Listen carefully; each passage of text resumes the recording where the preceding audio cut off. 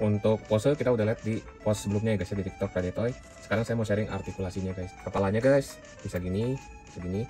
Kalau diputar bisa ya guys ya. Bisa ngeliat ke atas, bisa ngeliat ke bawah.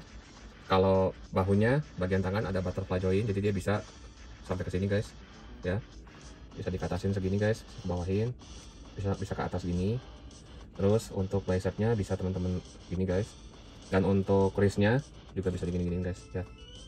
Dari ball joint untuk badannya guys bagian torsonya segini segini ke depan ke belakang ya.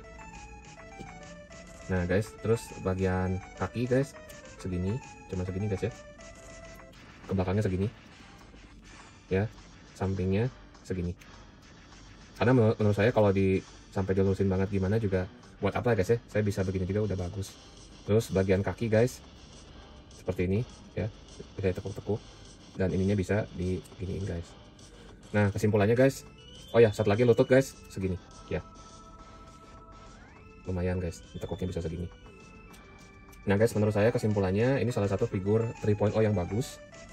Ya desainnya juga keren uh, ekspresinya juga bagus terus warna super saya rambutnya juga oke okay, ya guys ya.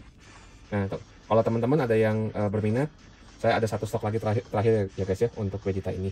Teman-teman yang mau uh, beli bisa DM